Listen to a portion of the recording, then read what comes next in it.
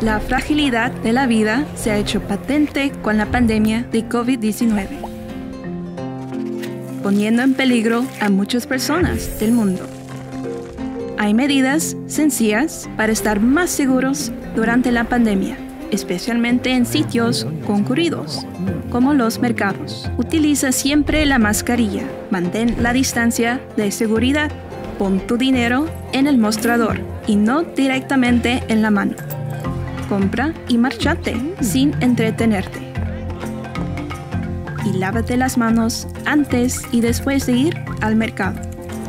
Con todo esto, podemos mantenernos seguros.